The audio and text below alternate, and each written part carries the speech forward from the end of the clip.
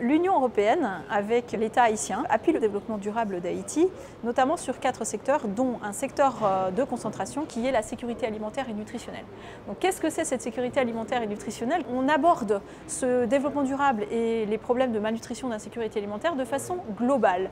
De façon globale comment? Avec un côté l'agriculture, donc les productions locales, avec le côté protection sociale des plus vulnérables pour qu'ils aient accès à cette alimentation, et notamment là on parle des plus pauvres, et puis le côté bien sûr santé, avec la, la malnutrition. Ce programme, c'est sous deux angles. On a d'abord un premier volet qui est sur développer les services de base justement aux populations. Donc ce sont des filets de protection sociale, donc on va pouvoir distribuer des coupons alimentaires avec des productions locales et des céréales, une portion on va dire sèche, et puis une portion fraîche euh, avec des légumes frais. Voilà.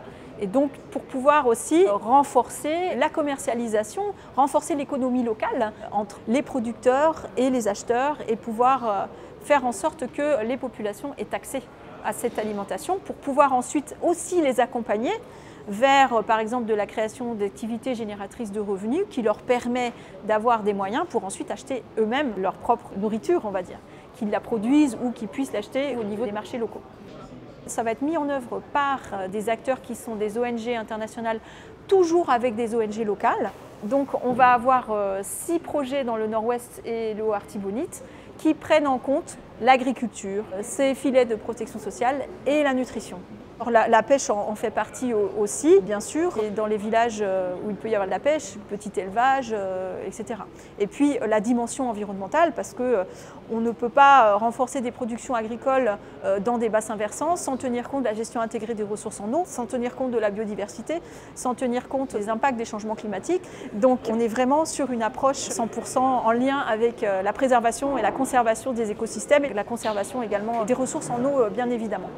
Donc le deuxième axe, c'est vraiment la gouvernance de la sécurité alimentaire et nutritionnelle. Ça veut dire que tous les secteurs qui travaillent pour le développement durable d'Haïti vont pouvoir se regrouper, vont pouvoir discuter entre eux des problèmes d'insécurité alimentaire et nutritionnelle. Donc on parle du ministère de l'Agriculture, du ministère de la Santé, du ministère des Affaires sociales et du Travail ils vont pouvoir discuter des informations qui remontent du terrain sur euh, des enfants malnutris, sur des productions agricoles par exemple qui ne sont pas à hauteur de ce qu'elles devraient Et donc on va renforcer les directions départementales de la santé, de l'agriculture et de la protection sociale pour les amener à eux-mêmes analyser ces systèmes d'information ensemble et renforcer le niveau de concertation au niveau départemental.